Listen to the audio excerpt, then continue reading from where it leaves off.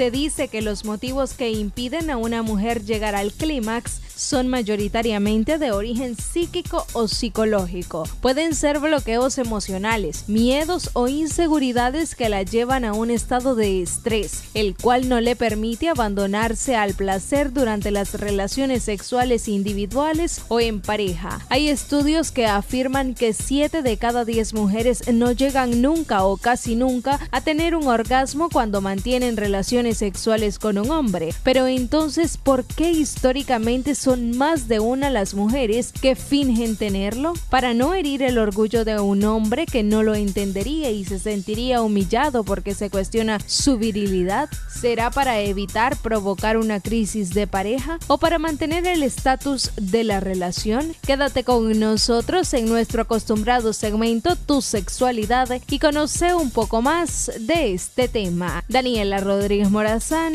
Acción 10 en la mañana.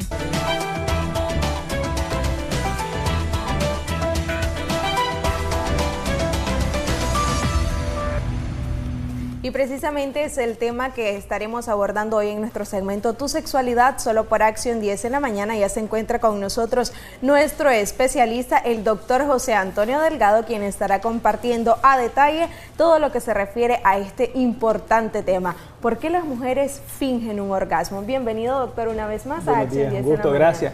Fíjate que en este tema, revisando para prepararme en el tema, miré un dato muy importante que me llamó la atención y me animó a abordar el tema desde otra perspectiva. Y decía en lo que estuve revisando, el feminismo es causante del reclamo al derecho al placer y el feminismo es el responsable de la denuncia, eso no lo dijo, lo agrego yo para ponerlo más bonito, pero el feminismo es el responsable de la denuncia de las mujeres que fingen orgasmo, porque tiene que ver un poco con eh, los derechos que tienen las personas. Es decir, ha habido una tendencia en algunas eh, observaciones que se hacen en mujeres que no tienen orgasmo, que la mujer entre más inclinada al feminismo desde el punto de vista de los derechos de la mujer, de la defensa de esos derechos, la mujer exige tener placer durante la relación sexual, por lo tanto no va a fingir un orgasmo. El otro extremo, cuando la mujer es más sumisa, con menos empoderamiento de sus derechos dentro de la relación sexual, la mujer va a fingir un, orgasmo principalmente para complacer al hombre, para que el hombre no se sienta incómodo y para hacer creer a su pareja de que ella es, eh, está plena dentro de la satisfacción sexual. Y este es un gran error. Me voy en este sentido a la tendencia de la mujer que tiene que defender el derecho al placer. Pues tal vez no está consignado en alguna ley, ¿verdad? Pero sí la mujer tiene derecho a tener placer es un derecho que tradicionalmente se ha venido limitando. De hecho, hace muchos años, hablamos de décadas, la mujer estaba concebida para la reproducción, nada más, equivocadamente dentro de la concepción religiosa. La mujer no podía tener placer y expresarlo era algo pecaminoso. La única mujer que expresaba su placer era la mujer a la cual se le pagaba por ese favor. De hecho, hay una expresión, los favores sexuales de la mujer, pagados, ¿verdad? Entonces esto es algo que mermó la capacidad de la mujer en cuanto a expresar, bueno, en esta relación sexual no tuve satisfacción, no tuve un orgasmo, yo necesito que esto mejore. El fingir un orgasmo para las mujeres que me están viendo provoca un deterioro de la relación sexual que cuando deciden romper el silencio, para parafrasear algunas otras cosas, cuando deciden romper el silencio de que no han disfrutado sexualmente, que no han tenido un orgasmo, la relación está deteriorada a tal punto que es difícil de recuperarla. Me refiero a la relación sexual, ¿verdad? Es difícil recuperarla. ¿Por qué? Porque estamos hablando, no es que la mujer viene y va al doctor y dice, mire doctor, fíjese que yo tengo, bueno, de octubre acá a noviembre, pues ya cuatro relaciones y no he tenido placer. No, van con años, años. Doctor, desde que me casé, nunca más volví a tener placer. Cuando era novia de mi pareja, tenía orgasmo sin problema y a partir de que tuve mi hijo, y aquí hemos visto muchas llamadas, no tengo placer. Y mi hijo ya tiene 10 años y tengo 10 años que no tengo placer. Y su pareja se ha dado cuenta, no es que siempre finjo un orgasmo. Y entonces la relación ya está deteriorada a un punto que es, difícil de recuperar, como decía anteriormente. ¿Por qué se finge el orgasmo también? Porque eh, hay un temor infundado de que la mujer si siente que su pareja no queda convencido de que el hombre le causó placer, se busca otra.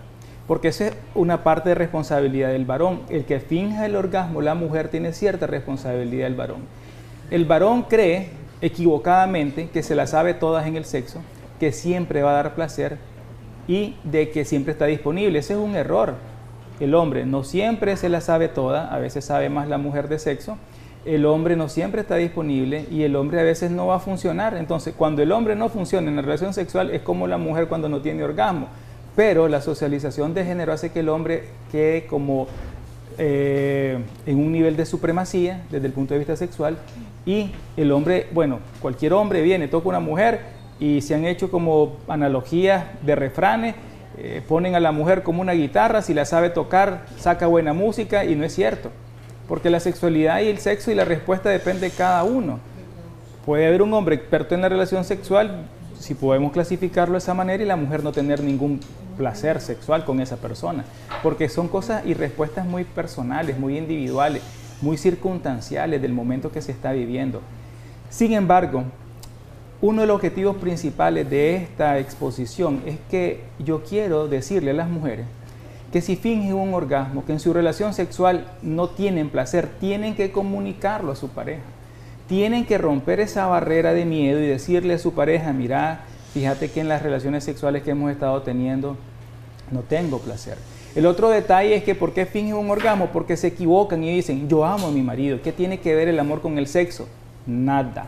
El amor está aquí, el sexo está aquí. Usted no se casa por sexo, ¿o sí? Si usted se casa por sexo, su relación va a ir al fracaso en poco tiempo, porque cuando usted ya no pueda responder sexualmente como lo hacía a los 20 años, a los 40 usted ya dejó esa pareja. O la figura del cuerpo de su pareja de los 20 a los, 20, a los 40 ya no es la misma, usted la deja. Uno se casa por otros parámetros. Y me refiero al casarme al establecer una relación de pareja con la idea de tener una familia. Entonces, si yo creo que por amor estoy ahí con la pareja y no disfruto mi relación sexual, eso hay que buscar cómo poner las piezas en su lugar, porque la relación sexual es diferente al amor. Y ahí las mujeres fingen orgasmo para tratar de establecer una relación de pareja estable que no lo es, porque desde el punto de vista sexual hay un problema muy grande. Fingir un orgasmo lo que único que va a provocar es un deterioro en la respuesta sexual de la mujer y en la relación sexual de pareja. Y son difíciles de reactivar porque tiene que ver con autoestima. El autoestima de la mujer se va a ver deteriorada de tal manera que luego va a ser difícil decirle, usted es una mujer que tiene derecho a tener placer, usted una mujer que puede disfrutar su relación de pareja, usted es una mujer que puede exigir que su pareja no solo le diga, y disculpándome por la expresión un poco tosca, hoy te toca y hoy yo quiero, yo, varón, quiero tener relaciones sexuales con vos. No, esto no es de yo quiero, ni hoy te toca, ni, ni tampoco de que la mujer está obligada a tener sexo porque ella es mi esposa, como equivocadamente se interpretan algunas líneas de un libro famoso llamado Biblia. Ella es sumisa a mí y tiene que hacerme caso a mí.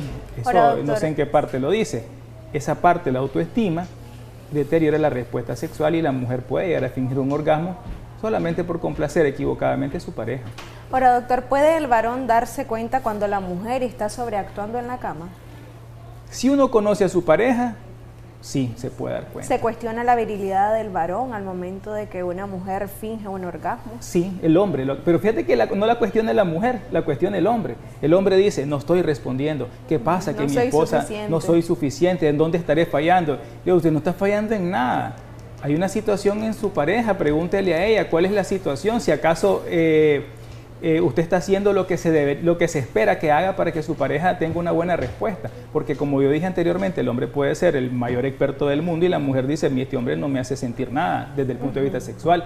Porque la relación sexual es bilateral, es de comunicación y transmisión de sentimientos de manera bilateral, no es unilateral.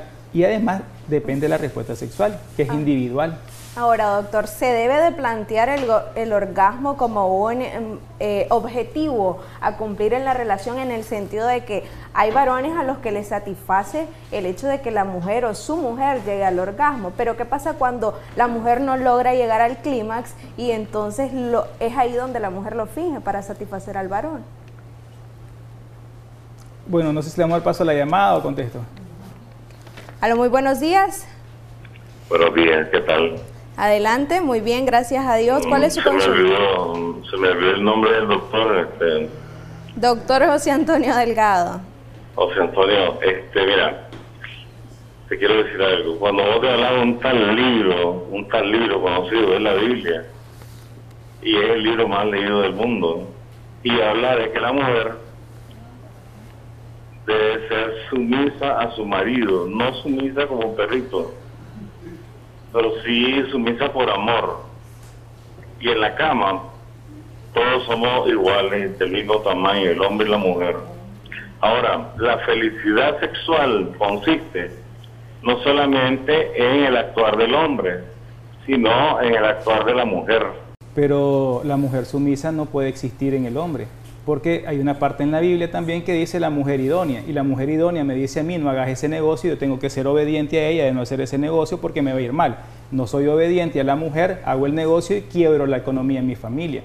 Pero meternos a esa parte es más complicado porque no soy experto en Biblia, pero sí conozco algo de ello. La mujer no debe ser sumisa ni por amor ni por sexo. La mujer, eh, tampoco el hombre que paga por sexo, una mujer por 300 pesos no me va a dar amor, dependiendo del concepto de lo que para mí sea amor, ¿verdad? Que sería como muy filosofar en otro programa de, de más de 15 minutos. Porque, ¿cómo yo compro amor?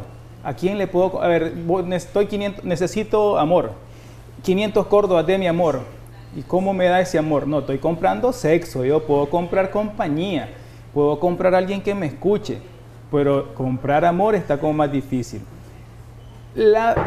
El hecho de fingir el orgasmo deteriora la relación de pareja.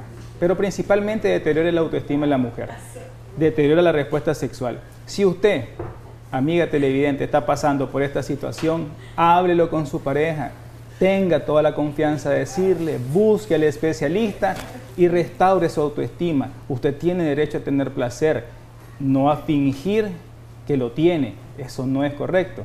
Busque al especialista y entre los, la pareja y, el, y los especialistas vamos a ayudarle a restablecer esa relación de pareja para que usted tenga placer de forma segura, de forma sana y de forma responsable. Siempre recordando, doctor, que el trabajo en la cama es un trabajo tanto del hombre como de la mujer.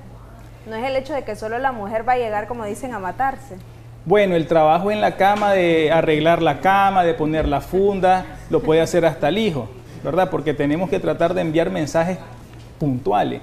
El trabajo en la cama, no sé, de limpiarla, de la, la, esas cosas, es de la familia. La relación sexual, donde quiera que la quieran hacer, en la cama, en el baño, en la cocina, es de los dos. Okay, bueno, muchísimas gracias, doctor, por habernos acompañado una vez más a través de Acción 10 en la mañana. Michelle Polanco Alvarado tiene mayor información para todos ustedes.